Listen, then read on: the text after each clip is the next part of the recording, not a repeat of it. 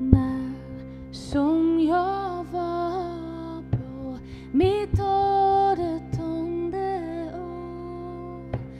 Det var en vacker gosse som föll ut i min håg.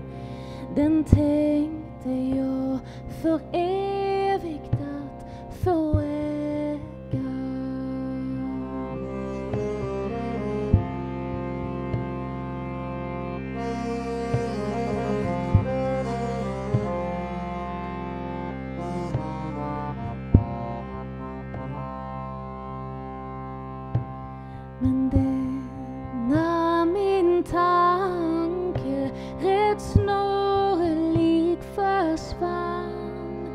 Det var en annan flicka som föll ut i hans hand. Den liknar han vid rosen det blommar.